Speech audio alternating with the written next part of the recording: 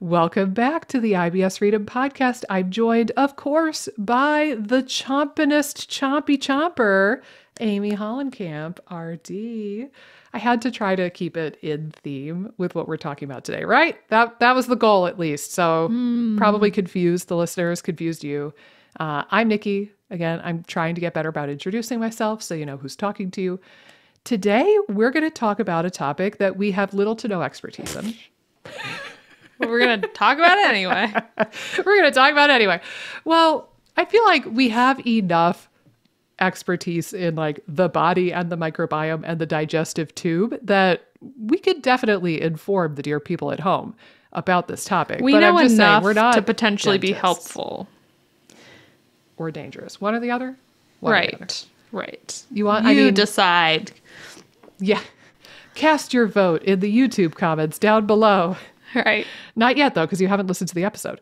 Uh, I know that people clicked on the episode so they know what the title is, but would you like to tell them the topic that we're talking about and maybe lead us off? Oh, let me get this shot out. I'm boring her. I'm boring. No, I'm sorry I, have a bore you so much, Amy. I have a young child who still ha- is not sleeping through the night. Um, Waiters make but- improvements, not excuses. Okay. Yes, you're correct. I hope that everybody knows I'm joking. But they're they're gonna start this episode and think I'm the most terrible person on planet Earth at the rate I'm going. So I'm just gonna clam up and let you talk. Oh my God. Well, so when it comes to what we're talking about today, we're going to be talking about dental stuff and just oral health, I should say. Oral health in general, how it affects, could affect your microbiome, how it could affect overall inflammation in the body. Um, and yeah, all the, all that jazz. I feel like we're going to just kind of dive a little bit into like how to take care of your oral microbiome and your oral health so that it's going to set you up for more success from like a gut standpoint. Yeah.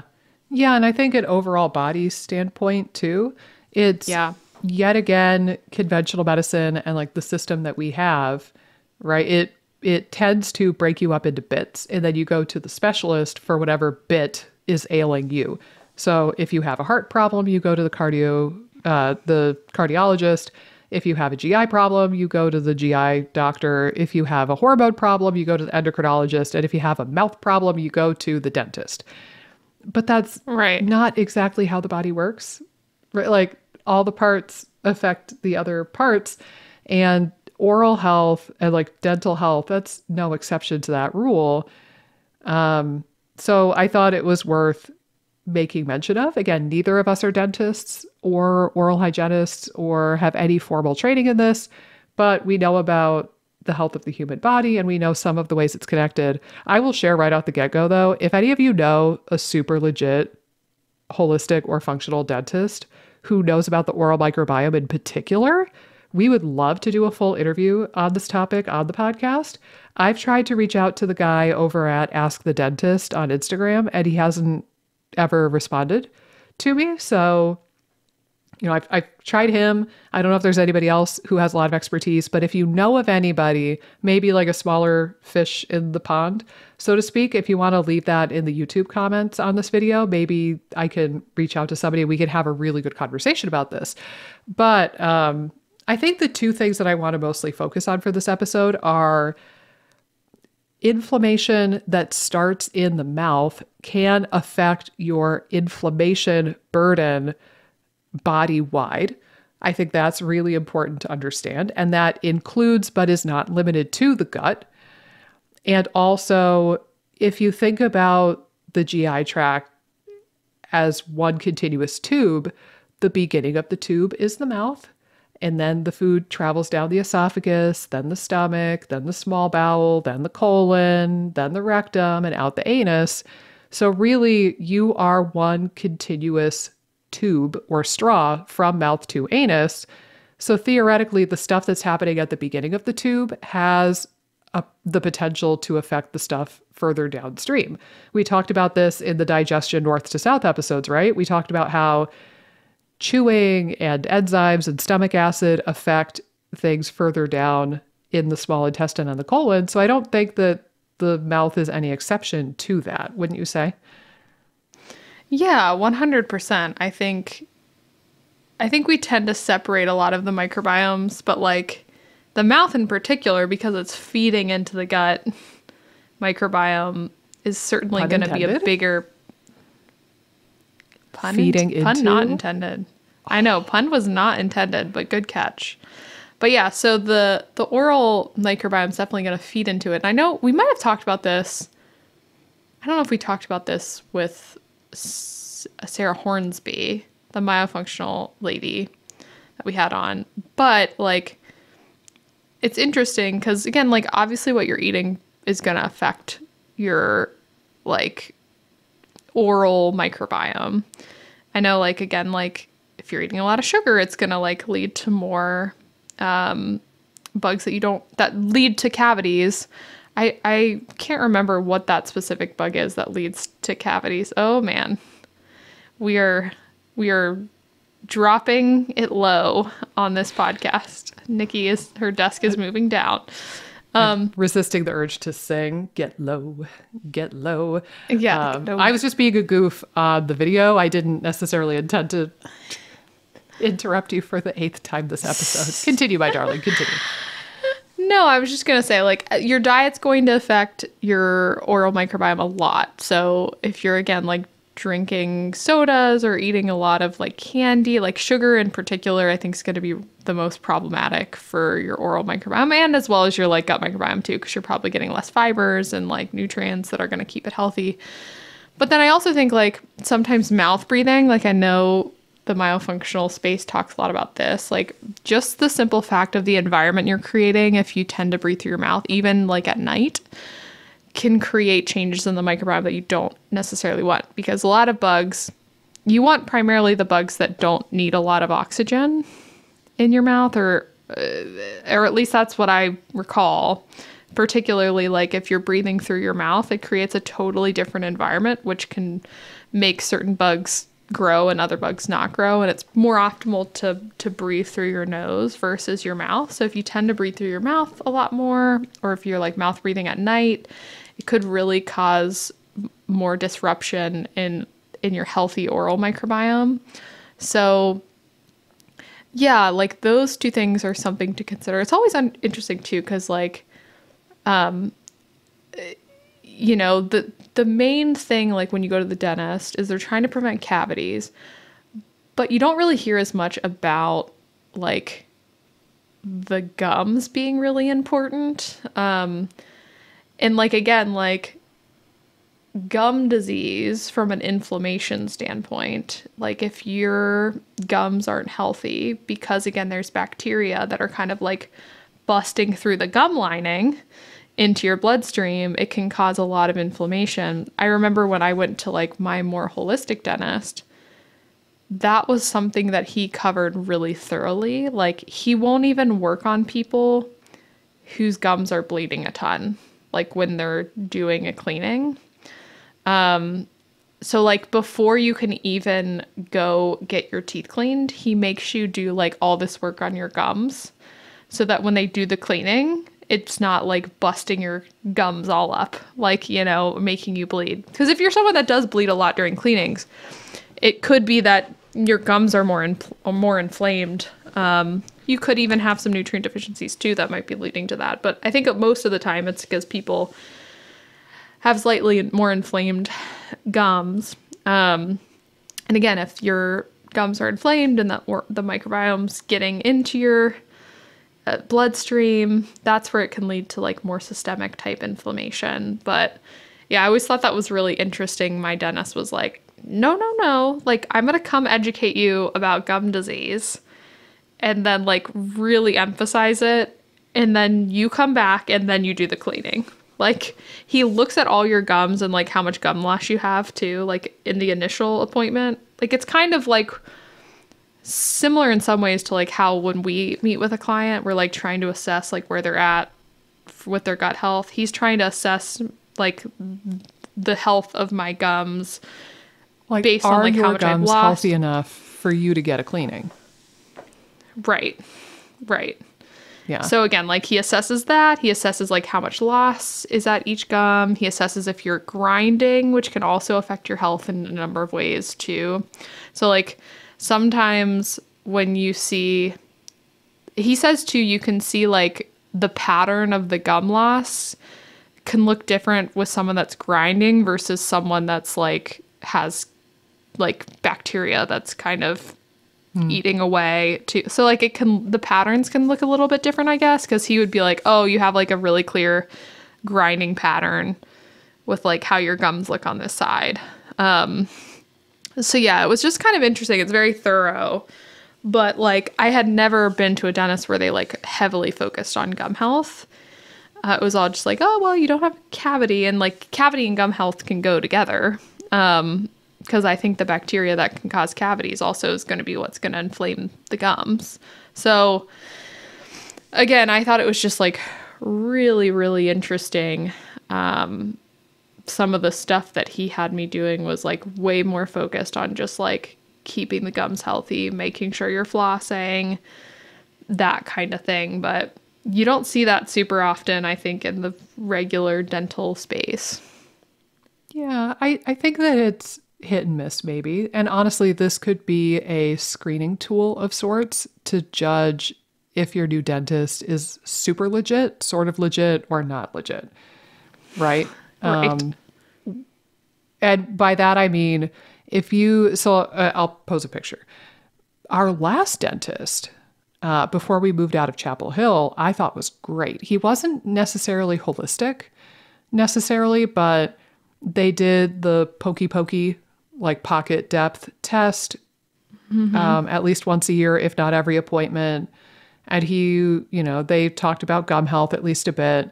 And he would, you know, pull your tongue out and look for oral cancer. And he would palpate lymph nodes and palpate the thyroid every single time. And I was like, man, yes, yes, get it, head and neck doctor. Like, I'm all for Right. dentists embracing the rest of the head and the neck and screening for this sort of stuff. So I thought he was really good. Our current guy is holistic. That's how I found him. When we moved towns, I found this guy. Right.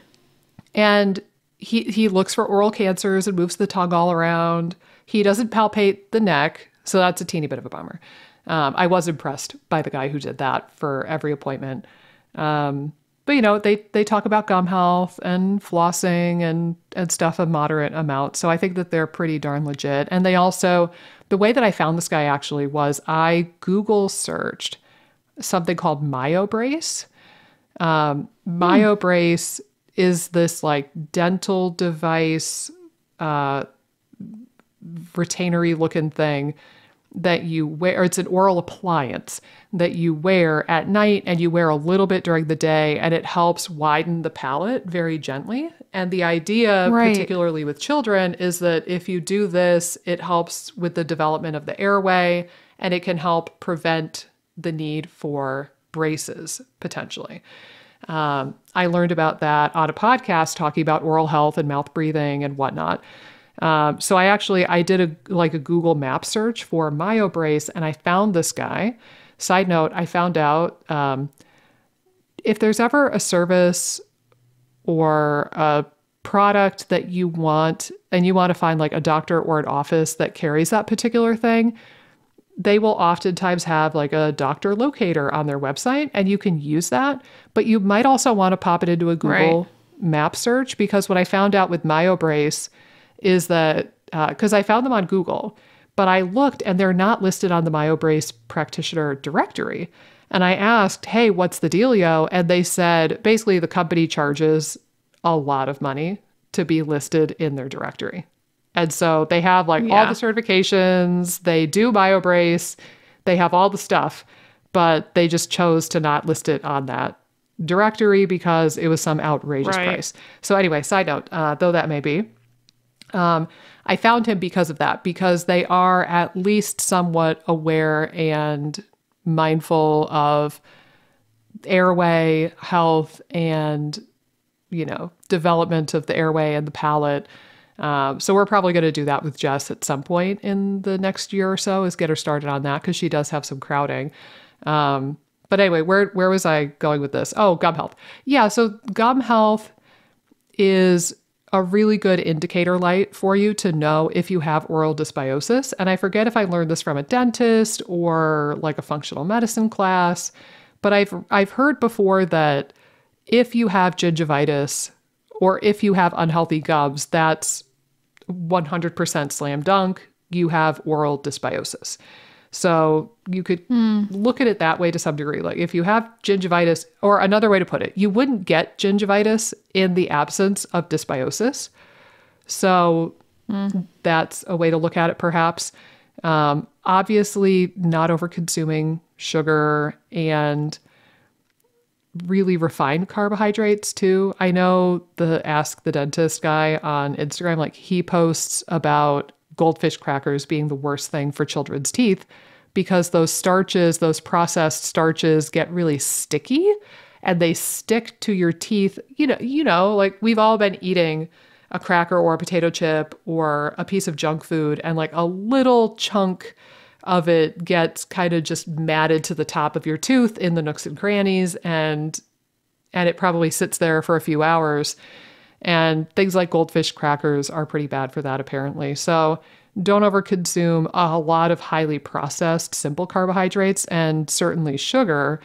That's got to be step one. I would also throw out that any sort of tobacco usage or smoking is pretty terrible for oral health purposes. So whether it's um, smoking cigarettes or or illicit drugs or vaping or what you know there's there's certainly with cigarettes and chewing tobacco, there's very, very well documented evidence that that is bad for your oral health and your gums. And it can lead to head and neck right. and mouth and throat cancers. So that's another pretty foundational one. If you're going to pick two things to focus on, I would say brush and floss every single day. Uh, if you don't want to, simple advice is suck it up, you baby, and just do it. And number two is don't smoke or use tobacco products. And that's at least a good starting point to go off of.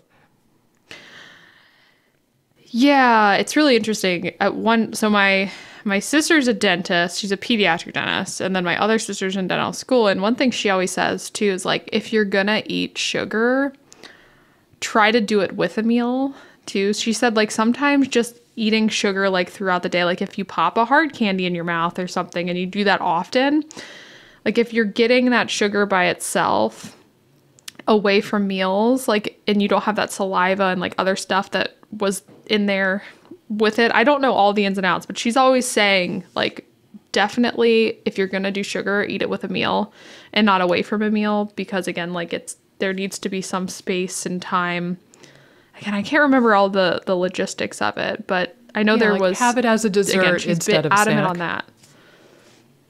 Right. Yeah. Right. I, I think so. Yeah, have it as dessert, not a snack. And if you think about it too, that's just good health advice anyway, because we know that that's going to blunt mm, any sort of blood sugar response. So if you eat a piece of cake or a cookie or ice cream or whatever all by itself, you're probably going to get a pretty significant blood glucose swing and then maybe a crash down later on.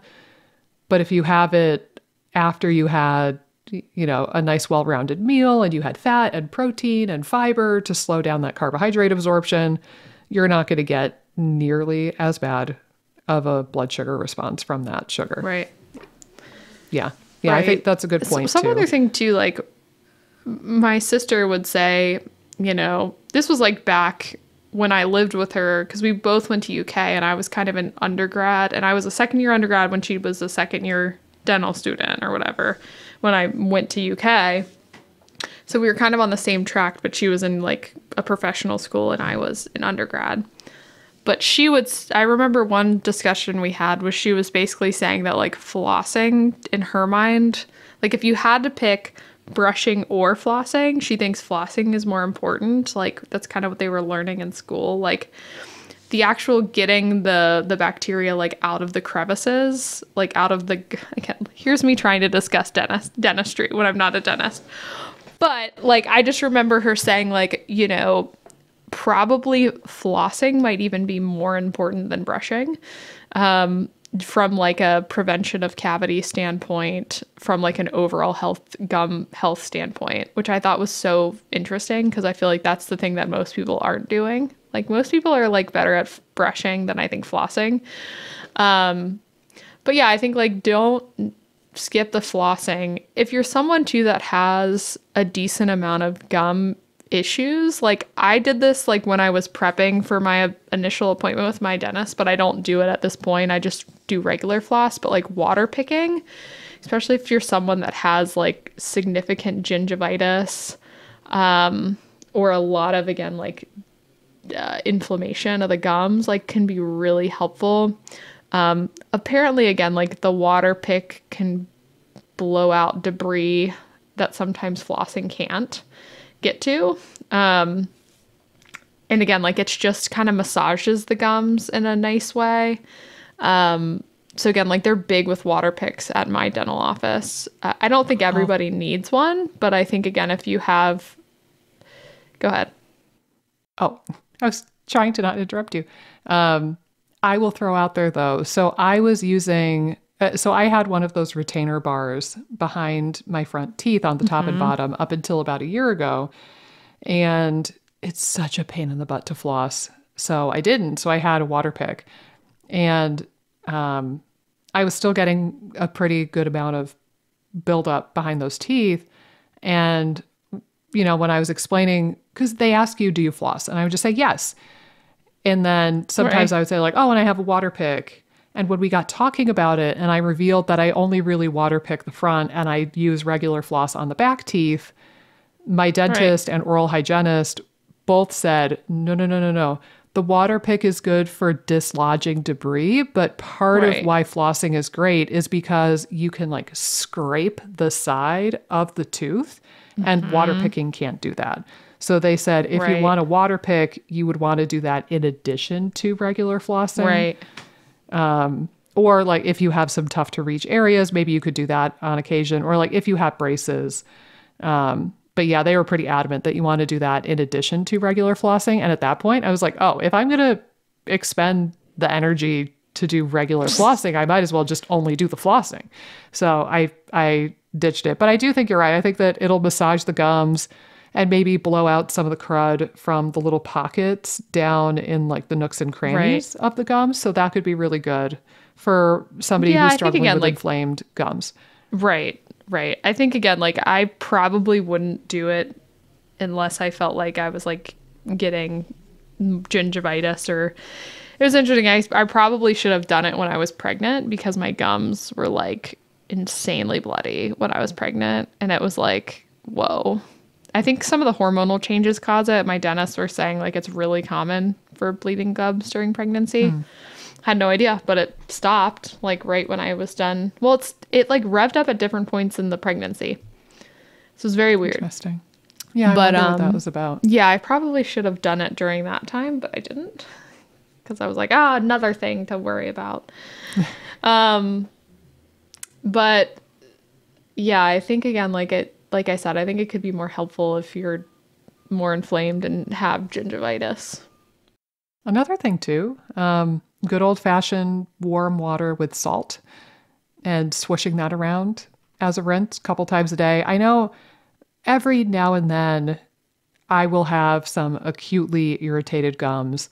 It's usually, you know, like I ate a potato chip and one of the stabby parts poked me in the gums and now my gums are all pissy. Right. Or I have one of the retainers that's kind of like Invisalign, but it's not Invisalign. So sometimes I wonder if that like gets caught funny or something and my gums get mad at me. Um, and whenever that happens, my usual go to, at least for a day or two, is A, I don't use the Invisalign retainer that night. Right. Because I, I give them a break and I don't want to irritate them. Um, but all, and I refrain from like chips and stuff that would poke them further. But I'll do a warm Right. salt water rinse and just swish that in my mouth for a few minutes and spit it out and do that a few times a day. And it does really help if if the problem persists beyond maybe a day or two, I have also been known to bust out my bottle of black seed oil uh, which is AKA black cumin seed oil. But if you read about that stuff, it's wicked cool. Like anti inflammatory, antihistamine, antibacterial, anti candida, anti parasitic, antiviral, anti everything. The running gag is that it can cure everything but death. Honest to God. And, you know, at that point, I, if it's persisting more than a day or two, the irritation, I start wondering, like, oh, okay, maybe I have a little bit of like a pocket of dysbiosis, or the inflammation is just kind of getting carried away and I need to tamp it down a bit. So, either way, the black seed oil should theoretically work. And for all that it doesn't taste great, it does seem to work. And I'll kind of do the oil pulling basically and, and like swish that around my mouth and pull it through the teeth and do that for 10 or 15 minutes and do that maybe once or twice a day. And that usually will resolve the issue. Again, if it's more persistent than normal, I maybe do that once a year, if that. Hmm. Yeah. Yeah, no, that's really interesting. Um, what about this? I, I'm curious again. I don't, I remember when the study came out too, it was like, pfft, do you remember that study that was like if you use mouthwash twice a day or something, that it increases your risk of diabetes? Diabetes. D- did you ever read that study? I don't think I did. I know I've seen that guy that Mark whatever his last name is, Ask the Dentist on Instagram. I know I've seen him posting that if you use mouthwash, it the idea I think is that mouthwash is equivalent to an antibiotic and it's just wiping out all right. of the flora and it's way too aggressive. Right. And I know that he's posted some research that there's an increased risk of, I think, heart attack as well, like heart disease Could might be. also be linked with this. And he was saying that maybe one of the mechanisms is that um, using mouthwash decreases nitric oxide. Uh, nitric oxide is an mm. antioxidant system that's important for dilating your blood vessels and blood vessel health, among other things. So yeah, I kind of know of right. of some of that, but I didn't know about the diabetes one. Yeah, I pulled it up. Um, it says people that use mouthwash twice daily or more at baseline had approximately 50% increased risk of developing prediabetes or diabetes combined compared to those who use mouthwash less than twice a day or not at all. Um, Again, I don't know all the ins and outs of that study. I just remember when it came out, people were like, oh my God. Like, I remember it being shared a bunch. And I think it's like, it's what you said, very interesting. Like, you don't want to nuke your oral microbiome, just like you want to avoid nuking your yeah um, gut microbiome too. It definitely makes sense. Yeah. Um, it makes me think of a Mitch Hedberg joke. Uh, side note, favorite comedian of all time. And uh, he has a bit where he's talking about like using Listerine and he says, germs do not go quietly and he's talking about how yeah. like it stings and it burns so much, but he says germs do not go quietly, right. and I crack up. Um, but yeah, it's we don't need it. Um, every now and then, I will splurge and get like a hippy dippy natural mouthwash just to get that minty fresh feeling. But it's a lot more gentle. Right. It doesn't sting. Um, but and it's like wintergreen flavor or something. But I don't do that a whole lot. Um, but yeah, I think same general principles apply. You don't want to obliterate everything in your mouth, just like you wouldn't want to obliterate everything in your colon or your small bowel. Well, the people we're talking to right now, they might want to obliterate everything in their small bowel. Who am I kidding? But uh, you shouldn't. That should not be the goal. Right. I also kind of wonder. I wonder yeah. if using mouthwash increases the risk of thrush and like oral candidiasis. Mm, yeah. Right. Because if you're killing all the bacteria all the time then maybe maybe those are the people who take an antibiotic for the sniffles and then whammo they get oral thrush. Somebody right. should research this. Right.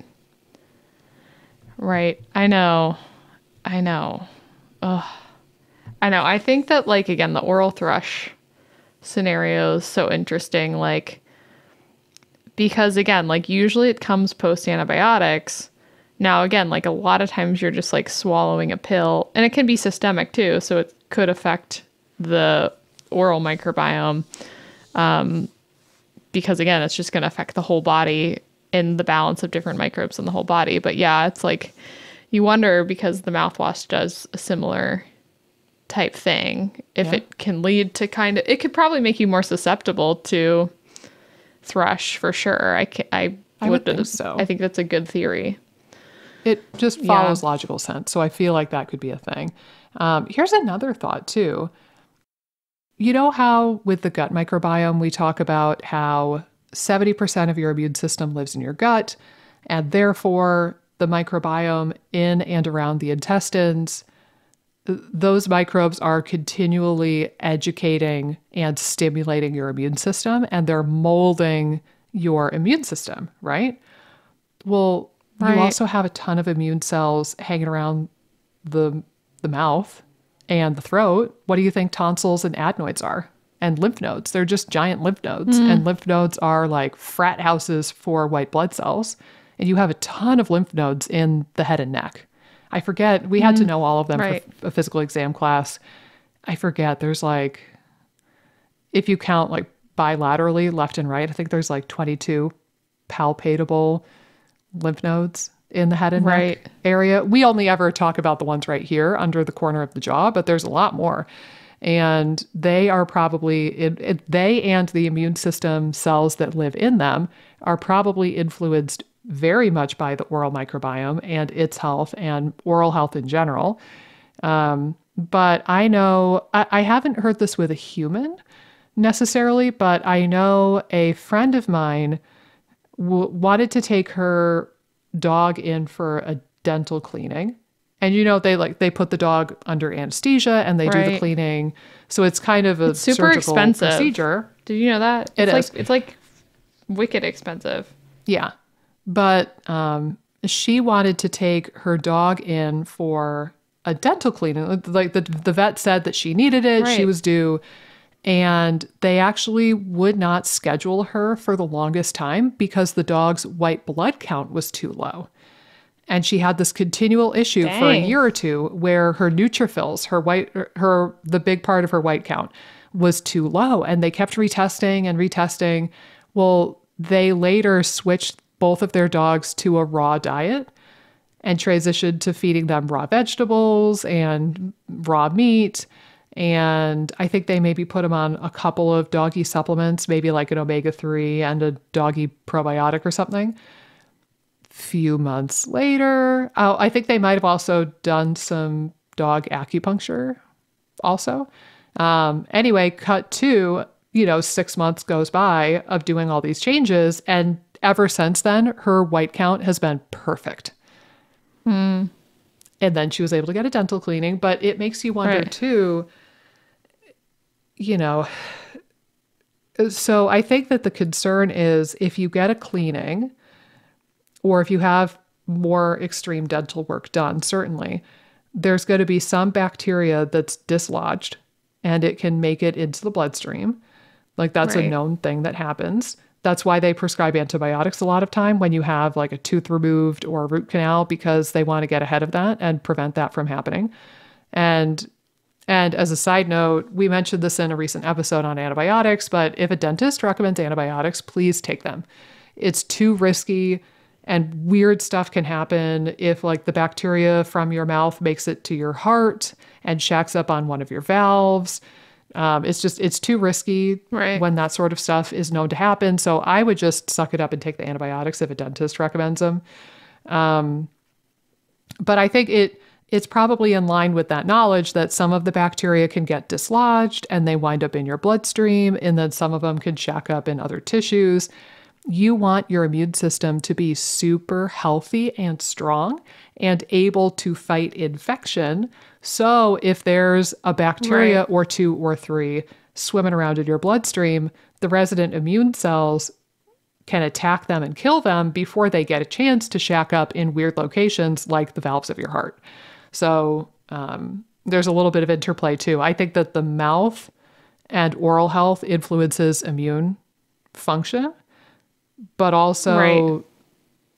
you need a healthy immune system to deal with any microbes, particularly if you get a dental cleaning or certainly more aggressive dental work. Right. Right. No, it's a good point. It's a good point. Um, Yeah. One thing we haven't talked about too is like we talked a little bit about mouth breathing. Sometimes mouth taping in the evenings, or like I should say, not in the evenings when you're wanting to talk, but when you're going to bed. So mouth taping is so weird. It's like a weird thing to bring up with clients. I find where it's like, uh, don't freak out, but like I'm gonna send you a little information about mouth taping. You can kind of take a look at it and decide if you want to do it or not. But there is like I know there's a brand. It's called Somnifix too. That it's more expensive. I usually say like if you haven't done it before, use that brand just to get you started. So it's like less freaky. Um, uh oh, oh god, Nikki's mouth is taped, so she can't Demo. talk. Yeah, I keep But- I keep a roll of tape, like the white medical tape, the paper tape. I keep a roll of this in my drawer at my desk so that if I talk to somebody about this, I could do a little demo and show them. Oh, cool. There's also there are a couple of good videos on mouth taping on the High Intensity Health YouTube channel. Um, as a side note, his earlier material, Mike Mutzel, excellent, so good. Uh, his channel definitely took a distinct turn to mostly talking about like anti-COVID, anti-vax stuff since 2020. So if you look at his channel and you're like, oh, cringe, it look at his earlier stuff. It was really excellent. Some of his new stuff is okay too, but just FYI, his channel has changed pretty drastically in the last three years. Um, but he's got some videos talking about mouth taping, and actually, he interviewed the Ask a Dentist guy. That's how I learned about him. Was on Mike Mutzel's podcast, High Intensity Health.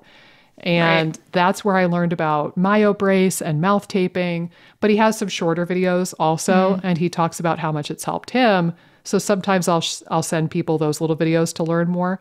But I do warn people that he in the videos uses a truly ridiculous amount of tape. It's uh, he does like like three or four pieces vertically Right. and then like one piece horizontally up top, one piece horizontally down below. It, it's bonkers how much tape Hey. he uses.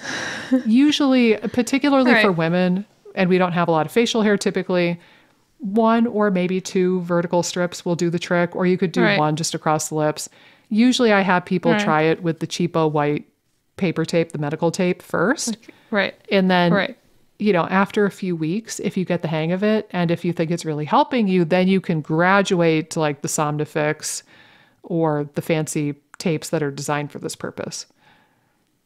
See, it's yeah. funny. I usually do the opposite because I feel like the Somnifix are more comfortable. Hmm. Have you ever used the Somnifix correct ones? Way to go about it. I haven't. there's no, probably no tried- correct I- method.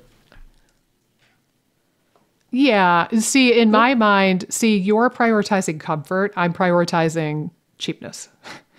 Because you can Right, get a roll of paper true. tape for like four bucks at any pharmacy. Right. The hypo- And most people the have it their cupboard Somnifix one is like, yeah, yeah. It's like Yeah. a dollar per strip, I think, or something in that rough ballpark, maybe 75 cents per strip. So it's definitely a bit more of a financial commitment. oh Oh, one hundred percent. Yes. But yeah, I never tried Somnifix because I did mouth taping with the paper tape for about a week or so. Right. Thinking, oh, I have all of the symptoms you would think, right, from the episode with, um, oh my God, I feel rude. What's her name? I could picture Sarah her face. Hornsby. Thank you. With Sarah Hornsby. Side note, episode 67, if you want to learn more. I only know that off the top of my head because I had a dental cleaning this morning and I just told the oral hygienist to check out that episode. So I, I don't have that memorized normally, but it's episode 67 where we talk with the myofunctional therapist about airway and and tongue ties and mouth breathing. Um, but uh, Right. shoot, I got sidetracked because I was so embarrassed that I didn't remember her name. Um, oh, when we talked with her in that interview, we were talking about the people who have more of a tendency to mouth breathe. Like, oh, super, super narrow palates, eh, narrow airway, ear infection kids, sinusitis person, Right. nasal, you know, congestion sort of stuff. And like everything she talked about, I was ticking it off the list. Like, damn, damn, damn. Right. Okay, this is me clearly. This is And right. uh, and funny enough, through through my own experimentation and trying mouth taping years ago, I actually don't think I mouth breathe. I don't mouth breathe at all during the day. Yeah. And I really don't think I do at night either. Um, Hmm. Like I sometimes I'll ask people, like in my intake paperwork, I ask people, here are the telltale signs. You ready? I ask people, do you snore? If you say yes, that's automatic mouth breathing, right? Because you can't really snore with your mouth closed. You could try, but it won't work very well. Um, so snoring, that's a dead ringer. You know your mouth breathing if you snore. Uh, the other ones I ask are, do you wake up with a dry mouth? Because again, it was gaping open and catching flies all night. Uh, do you wake up in the night and like you need to drink water throughout the night and first thing in the morning? That's a roundabout way of asking, do you have a dry mouth? So sometimes that can be an indication. Um, and I ask, do you wake up with a stuffy nose that was not stuffy when you first went to bed? And if that happens consistently, and it's not a, oh, I have a cold now sort of a thing, if it happens consistently where you throughout the day and at night you go to bed and your nose is totally clear, but then you wake up and your nose is totally stuffed, that's also an indication that you're breathing through your mouth at night.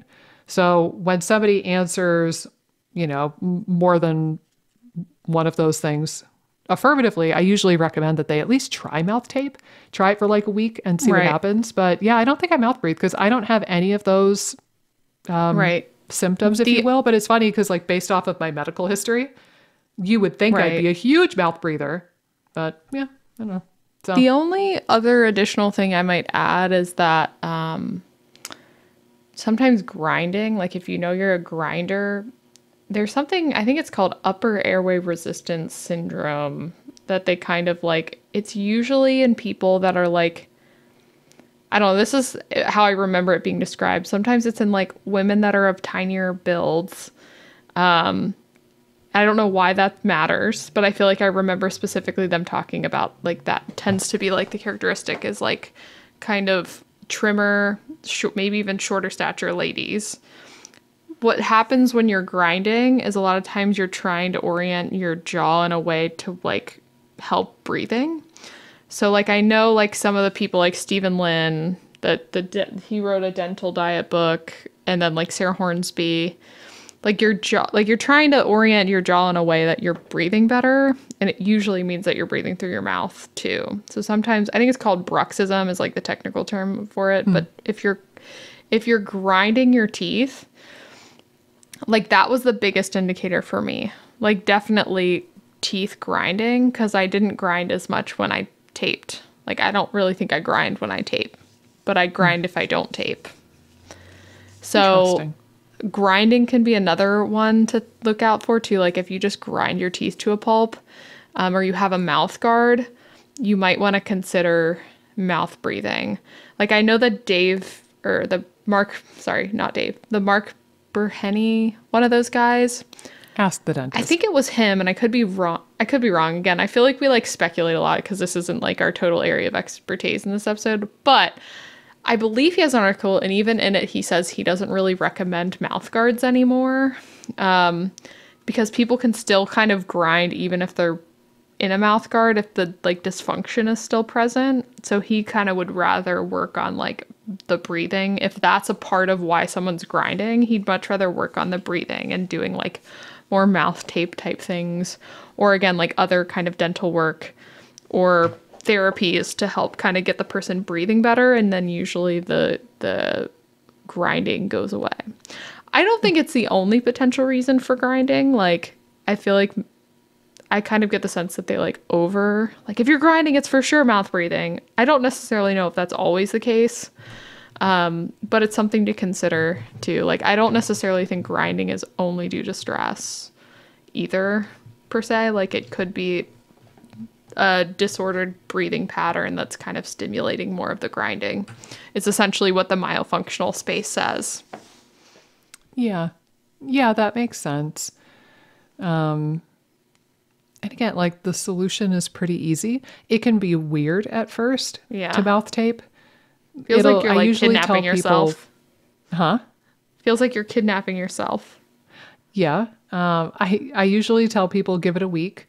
And Yeah. you might have a night or two where you're cursing my name or saying that I'm a weirdo and that this is the weirdest thing that ever anyone's recommended to you. But I am finding when I make the recommendation to do mouth taping, like when I feel like it's appropriate and necessary, I would say about 80% of the time people end up really liking it and thinking that it helps them. Probably the number one thing I hear is that it helps with mental clarity or they feel like they have more pep in their step when they Right? mouth Like energy, yeah, like better energy um, mental because you get more oxygen to your brain, oddly enough, Right. when you breathe through your nose. So yeah, so something to look out for certainly. Um, I think I only have one more nugget to throw out there, and then yeah, I and then the boob has like- to peace out. Yes, I think it's about time to wrap it up. We live and this. die by the boob here at the IBS. We do. We all hail the the boob, boob, the on, one boob. on this podcast. Yeah, just the one. To be clear, Cece only likes the one. Right. Um, but the other mm-hmm. thing I was going to throw out there is I love my tongue scraper so much.